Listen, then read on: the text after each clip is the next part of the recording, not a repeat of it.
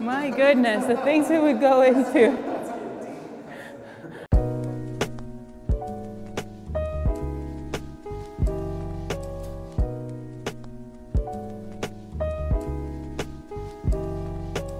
So Octavia Butler's Wild Seed series, where she predated Make America Great and The Wall and economies collapsing and growing, and um, Margaret Atwood's MaddAddam series, where she again predated many of the things that are happening, and some that are frankly, hopefully never gonna happen or not within our lifetimes.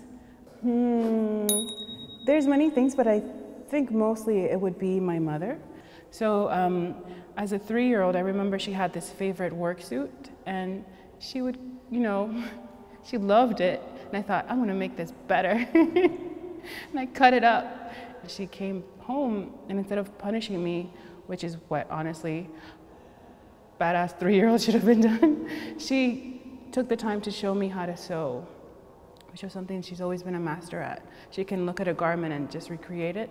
And I've appreciated that flexibility no matter where we've lived, for her to be um, strict about many things, but not me being creative.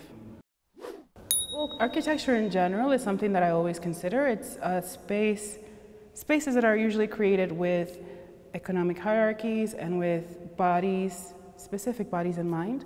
And what I do like about this space here is that me as a shorter person, I feel like everything is at my height.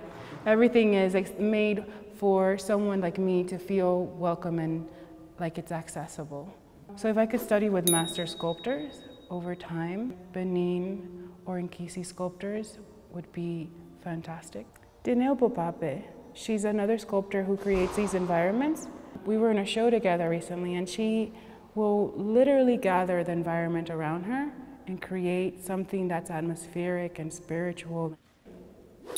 Maybe most people don't know that I am, I work at night and that even though there's so much sunlight in my work, it's um, sunlight that comes from memory, from growing up in the Caribbean, that gets translated into these work environments and many times in the Northeast, where it'll be the middle of winter in a, at 5 a.m. making this painting.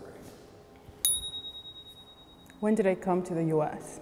Um, I was actually speaking to a young lady when I first came to the museum, and she was asked, where are you really from? So acknowledging that you come from many, many spaces and that it's something that would be generous to share with other people. But sometimes being in the moment and saying, I am here, I am of this shared space with you now, um, which is tricky.